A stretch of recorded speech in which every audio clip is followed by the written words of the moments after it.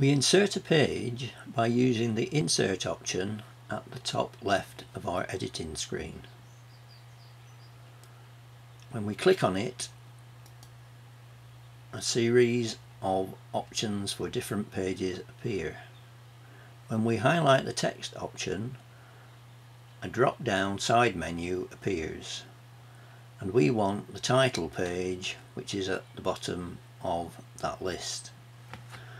So we highlight the title page and a preview of the page appears. You'll see it says a simple page for displaying a title. So we'll select this one by clicking on it. When we do this, the page appears on the left and you'll notice that it has three properties for that page on the right and that they're different to the properties for the object. So the object has five different properties.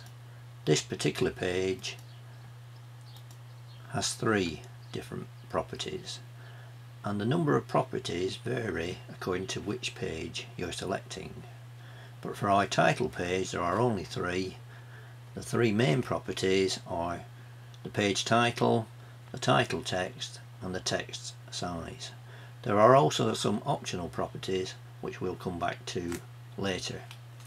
So we're going to start by altering some of our page title properties and the first thing we're going to change is the page title which appears on the navigation bar at the top of this first page so we're going to put in a title of introduction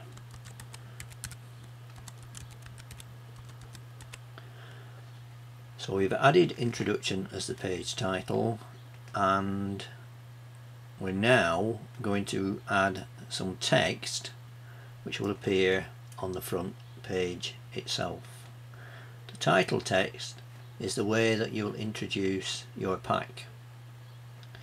So I'm going to put in an introduction to dog breeds.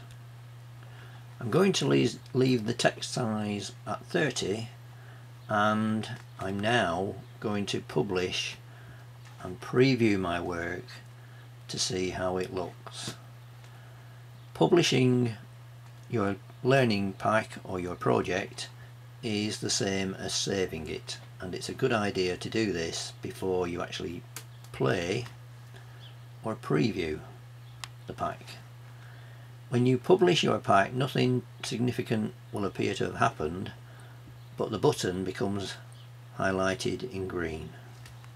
So having published our pack we're now going to play it and look at a preview.